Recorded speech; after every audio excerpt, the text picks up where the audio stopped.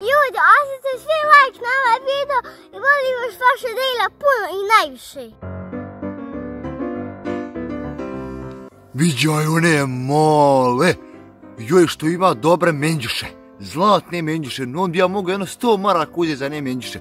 Idem ja njoj sad oteti one menđuše. Halo mala, kus pošla ti jel? Govor.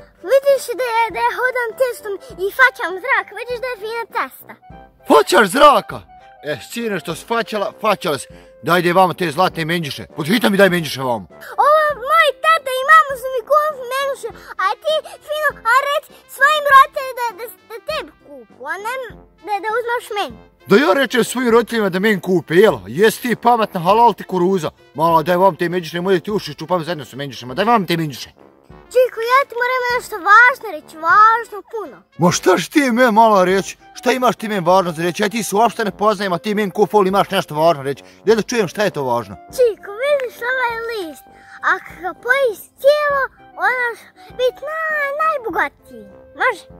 Šta veliš ti mala? Kad ja pojem taj list da će biti najbogatiji? Pa mogu bi ja taj list i pojest onda, onda će biti menđuša i para i svega. Mala, daj vam taj list. Evo Čiko list, poji ga znači da, bude, da budeš najbogatiji, da ne moraš ništa uzmeti od mene. Joj, fala, mala, fala, joj vide liste, sad kad ga pojem najbogatiji će biti.